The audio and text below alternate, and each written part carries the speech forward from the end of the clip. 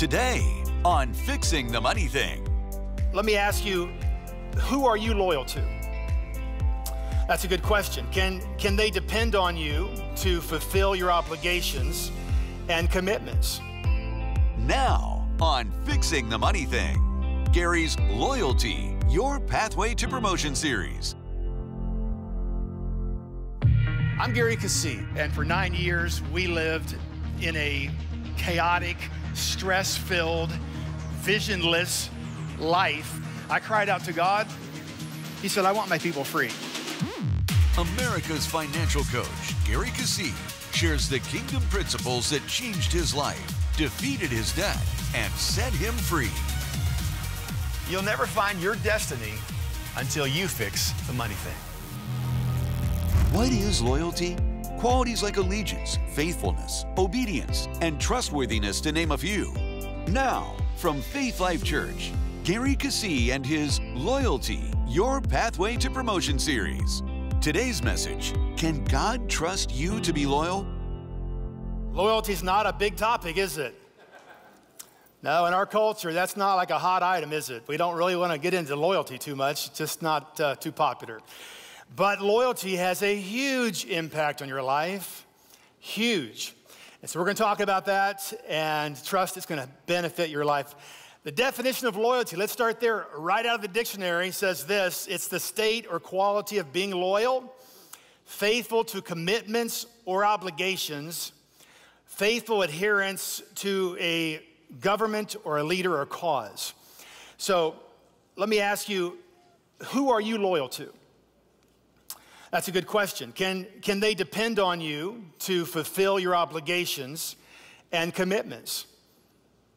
Or maybe you need people on your team that are loyal to you, vice versa, right? I mean, being loyal is, is so critical to life. And loyal is not a feeling. I can tell my wife I'm loyal to her, I love her, but if I don't take the trash out, Ladies, you missed the perfect opportunity. Maybe it's just.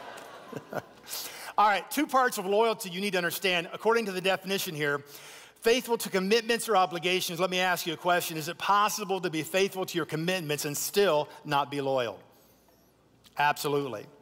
Because if you're you know, committed to your obligations, yet you are grumbling about your boss, are you loyal? According to our definition, you're loyal to fulfill your obligations and commitments, and you're committed with loyalty to whoever you answer to, and they go together. They go together. So, I want to talk about loyalty because a lot of great things happen in loyalty, and a lot of bad things happen when we have disloyalty. So, we're going to jump into that. Going back, of course, we've pastored 26 years, business leaders for 38 years, and uh, we've always had staff, people, clients, a lot of things happening. But, you know, I'll give you a couple examples. And back in the early days, you know, I was young and my staff was young. We really didn't know. We all kind of jumped into this thing without a lot of training. But uh, I did have some problems. I began to recognize I had some issues happening in my staff back in the, in the beginning. And, uh, you know, things weren't getting done. And so I, I, be, I gave them a homework assignment. I said, I want you to read this book. And we're going to get together and discuss it on this date. I want you to finish it. So we got together at that date for our meeting, and I went around and asked them, did they read the book? And not one person read it. Now, there's a, there's a symptom deeper than knowing how to read there. Would you agree? All right. And so uh, the same season, we had uh, one of our children's Sunday events. You know, our, our children's church flopped. It was, it was just, it wasn't good. And Pastor Drenda asked our full-time staff children's leader, uh, you know, how, how much did you prepare for this? I mean, it just, I, I give them credit for being honest. They said, I did zero preparation for it. Uh, you know, just an example. And another time in this season, we had a lady, now we had one door coming into the church back then. It was warehouse we had church in. And uh, this particular Sunday, we had a lady back there, and she was the greeter. And as she greeted people, she had made up a homemade flyer for a Sunday morning event that she was hosting and putting on the following Sunday. So everyone coming into church was getting a flyer from this greeter to skip church and attend this event the next Sunday without me knowing it. Bless her heart, yes. Now, if you would have asked any of my staff or any of these people if they were loyal and they loved us, they would say yes. But obviously, they needed some help in training. Actually, without knowing it, they were being disloyal. Let me say this you cannot build anything with disloyal people. If you try, you'll try to pick up false responsibility, you'll be micromanaging everything, which almost took me out of the ministry. You have to have loyal people. But listen, people need to be taught this. And again, this is a young staff. We had, you know, we had to you know, mentor. How many realize mentoring is important? Absolutely. And so we need to mentor and train. 1 Corinthians chapter 4 verse 2 says this, now it is required that those who have been given a trust must prove faithful. Must prove faithful. Loyalty is not convenient. Loyalty will cost you something, but it is required. It is required. Luke chapter uh, 6 10, whoever can be trusted with very little can be trusted with much. And whoever is dishonest with very little will be dishonest with much. 1 Timothy chapter 3, verse 10. Leaders must first be tested, and then, if there's nothing against them, let them serve as deacons or as leaders, as we're talking about. Such wisdom in these two scriptures that you need to embrace in your life. So, why is loyalty so critical? Why is it so critical? Because we're going to war. There's going to be pressure that comes. And in the midst of pressure, that's not the time to find out that the two before that you've built the house with cannot handle the weight. Right? You want to know before you get into the battle that there's been some testing, there's been some refining, there's some loyalty that when you get into that battle, you don't have to look around and you've been abandoned. But no, your team is there, they've been tested. You can put confidence in that team. And this is vital to your life. Leaders, listen to me. Business leaders, listen to me. There's no shortcuts. You know it if you've tried it. You try to shortcut the process, you're going to pay the price. People need to be mentored and tested, and this is vital. Leaders, listen to me when you put someone under your authority, as you hire people or uh, you come on staff in the ministry, you need to remember this that that person's voice will be magnified by your position, the leader's position. In other words, if I bring someone on staff, people are going to hear them speak as if they're hearing me speak. They're going to assume that whatever they're saying, I have already okayed. Is that right? And so you have to be careful. Remember, you're going to gain influence if you're coming under someone's authority. And leaders, you're giving influence, you're giving them your influence, you're giving them a, a, bigger platform, a bigger voice, and you need to make sure that you both sound the same before you give them the platform. Amen. Come on now. Because you're going to find problems if you don't do that. So, leaders, listen to me. You need to test people. You don't bring them in close because if they have a different voice, people are going to think that their voice is your voice. And you may not end up where you think you're trying to get to, right, leaders? So, you have to be in agreement, right? In agreement. All right. So, let's move on. Now, as a pastor or as a leader, I'm sure that you see people that have potential as leaders. And that's what, that's what you look for, right? That's what I look for. But I also understand that it may not be seasoned yet. Their maturity may not be ready yet. I have to understand there's a process of mentoring and leading and guiding them that must take place. There's a lot of people that have spiritual giftings as well as natural giftings, but it does not qualify them for leadership yet. Okay, not yet. But how many know it's so easy to bypass that testing process when, you're in, when you need someone desperately in, in that position? And that's what you cannot, you cannot, cannot violate this process. Matthew chapter 12, verse 30 says this Whoever's not with me is against me, and whoever does not gather with me scatters. That's what Jesus said. Pretty powerful words. Whoever's not with me is against me, and whoever does not gather with me scatters. See, times will get tough. Any venture, any business, any church, anything, there will be pressure. Again, we want to make sure that we're all on the same team. Listen, anyone can become disloyal, anyone. Satan's number one plot is division. The process is disloyalty and offense. And you see it everywhere in life. Understand this open rebellion never starts openly, ever. It always starts in the fringes, underground. Never see it. You know, it's like a rotten tree. I remember we had this beautiful, beautiful, beautiful big oak tree. Had a storm come through and the whole thing fell down. I was totally shocked when I went outside to look at it. It was hollow. See, you've got to find out what's inside people.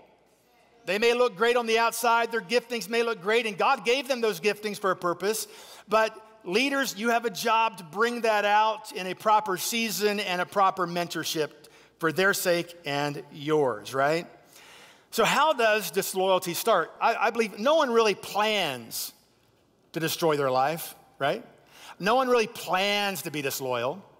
In fact, a lot of people, maybe most people, don't even know they're being disloyal.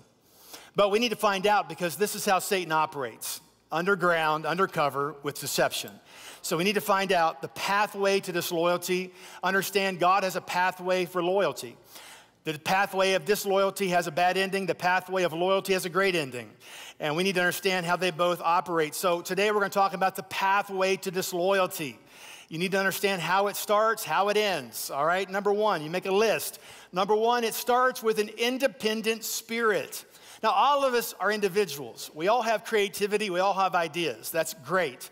But an independent spirit begins to operate outside of the one that they're under in authority. They began to began to kind of just twist things a little bit, began to add to the instructions, but decide to procrastinate maybe, or I have a better idea. These people don't mean harm, but an independent spirit wants to be in control, wants to have the latest gossip, wants to you know, posture themselves as in the know. This is an independent spirit. And you can't let that continue without mentoring that person because it doesn't stay that way. How can you recognize an independent spirit, give them something to do they don't want to do? They'll start bucking it, changing it, better idea, whatever you can always, it'll show itself. All right, now what happens you try to correct an independent spirit? What happens? Not always, we pray not, but offense. Now that's their choice.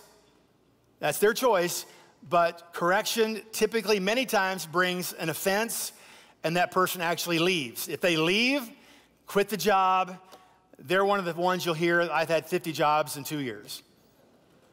No, this is how the door keeps going. I mean, it just rotates, rotates, rotates. And so, as a pastor, we want you to win in life and live the good life. So, you need to understand how these things operate. So, number two on your list, offense. Matthew 24 10 says, And then shall many be offended, and shall betray one another, and shall hate one another. Listen, offended people betray, and they foster hatred and division. Offended people are, are dangerous, friend. Dangerous. Offended people do not receive correction. The Bible says a righteous person invites correction. Now, offended people very quickly move to what number three is the passive stage.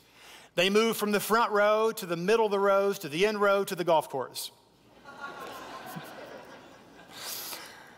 I can always tell if someone always sits in the same seat, you know, they're moving back. I, okay, what's going on? You know, then I see what happens. They disconnect from dream teams. They get off all the teams. They stop serving. They stop being involved. I know something's happening, right?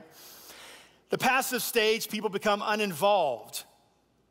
We have to ask, as a pastor, we have to ask why, because people that love God are involved. People that love God are involved. I'm involved. I love my wife. I'm involved. I'm not passive.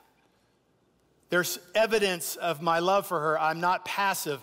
When you love God, there is activity. You're going to have a heart to be involved. You're not going to have to be legally forced to be involved. You're going to want to be involved. Jeremiah 48:10 says this, "A curse on the man who is lax in doing the Lord's work." A curse on him who keeps his sword from bloodshed. Meaning, when you're in a battle and you're not participating in the battle, you're not on the team. And the Bible says you're not going to have the blessing of God on your life. So you want to walk in blessing? Stay involved. Staying involved is healthy spiritually, but stay involved. A passive person moves very quickly now to the critical stage, which is number four. They've disconnected, they have a critical mindset, everything's now being filtered through this critical picture they have, and they become critical. They see things that are wrong. But see, when you own something, you care. So, like at your house, if there's a, a, a mark on the wall, you clean it off, right? You own the house. You take pride in the house. That's your house, but not the critical person. They see things that are wrong, but instead of wanting to fix it, they want to point it out. They're not getting involved. They're not helping pay for it, whatever. They're not doing anything to help the problem. They're just pointing it out. The critical person. Now, this critical stage, again, now moves quickly into what we call number five, the political stage. The political stage is now they're going to get a crowd around them that agrees to justify their attitudes, their lack of being involved. They're going to get people around them that agree with them. One of the greatest stories in the Bible, not great at what happened, but a great story, is the story of Absalom in the Bible. Very famous story. King David had Abs- son Absalom, he had a son Amnon. Absalom and Amnon were of two different wives, two different women. Absalom had a sister named Tamar. Amnon, her half brother, raped her. Absalom, her full brother, was furious about this, and King David did nothing about Amnon. So Absalom put a plot in place to kill Amnon, which he did. He then fled Jerusalem for three years, and then he came back after, I think, two more years. Uh, he came back to Jerusalem, but secretly he had no respect for David. He was offended. Now, I'm not saying his offense was not, in this case, maybe justified somewhat, but it's a great picture of what offense looks like, how it operates in 2 Samuel chapter 15. So I want to turn there quickly and, and take a look at it. Verse number one. Now, again, this is when Absalom comes back. Uh, he's been estranged from David. He's been out of Jerusalem now for five years. He comes back, and now he is in the area. In the course of time, Absalom provided himself with a chariot and horses, and with 50 men to run ahead of him. He would get up early and stand by the side of the road leading to the city gate. Whenever anyone came with a complaint to be placed before the king for a decision, Absalom would call out to him, What town are you from? He would answer, Your servant is from one of the tribes of Israel. Then Absalom would say to him, Look, your claims are valid and proper, but there is no representative of the king to hear you. And Absalom would add, If only I were appointed judge in the land, then everyone who has a complaint or case could come to me and I would see that he gets justice. That is how it works, friend. Absalom was not in the palace, he was not even in the city, he was outside the city. This is how it happens. It happens behind the scenes, it's not open yet. Uh, from my experience, it happens to, it, it, it, preys on the babies. It happens on the immature. Uh, th- th- these people that want to, to get a crowd, they work, these, they work with these people. And you need to watch that. This leads to number six, the deception stage. Now, you know that when someone's deceived, what do we say about people that are deceived, pal? What do they say? They don't know they're deceived because they're deceived. Now, at this point, along this pathway, there's hope.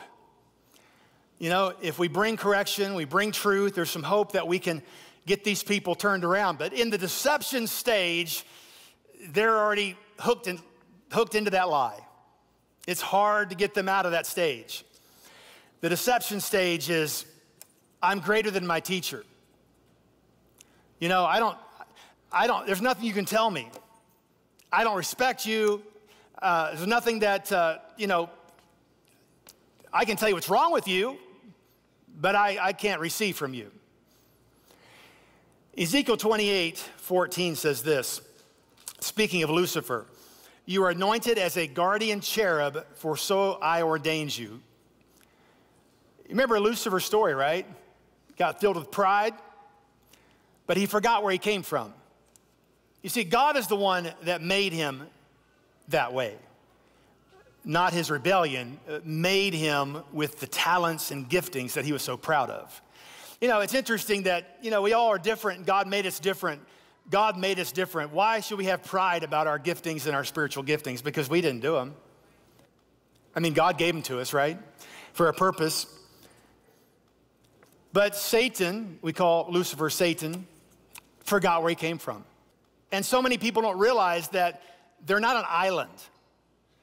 They didn't make the journey up themselves. There are many people and many people that invested in their life for them to be where they're at, but they have forgotten. The deception stage now leads into number seven open rebellion. I remember when I told my staff back in the day when I was called to preach, and I was, God told me to launch a church here in New Albany. Of course, I had my company. I called my managers together and say, "Look, guys, God called me to launch a church here." Kind of told them what was happening. The next Monday, I came into the office. My key manager's office was next to mine, but this particular Monday, I was shocked. He wasn't in his office. He was in my office with his legs, his feet up on my desk. And when I walked in, he didn't take his legs down from my desk. And he said, You know, you're going to pastor a church. It's a great thing. But you can't do both. So here's really how I see it you got three, three choices. You can give me the company, or you can give the company to all the employees, or you can just close it down. That's pretty open. but no, it's my company, and I say, eh, to all three. Not happening. Of course, that person left.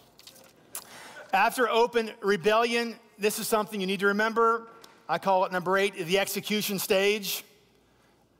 All rebels die in the end.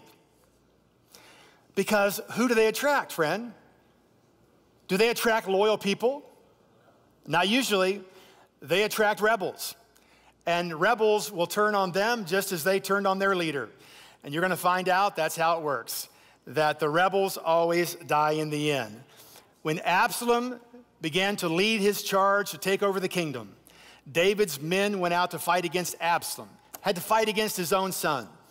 And Absalom was riding his mule in the battle, and he ran under a tree, and the tree caught his hair, and the mule kept going, and he's now hanging in the air. And he died in that battle. Rebels always die in the end. They may not die a physical death, but they're going to have trouble because they attract the wrong kind of people, and you can't build with disloyal people. You want to build with people who celebrate you, right? You want to, you want to hire people that are excited to be there, that are grateful for the paycheck and the opportunity, and the opportunity to, to be advanced in promotion, and they're thankful and, and they love you. So, listen, the pathway to disloyalty is very subtle and you have to be aware of it. That's why I covered it today, so you'll be, uh, you know, a, a keen to what Satan's trying to do. You'll be aware of what Satan wants. He wants to get you off track on the wrong pathway. God's pathway always has great reward.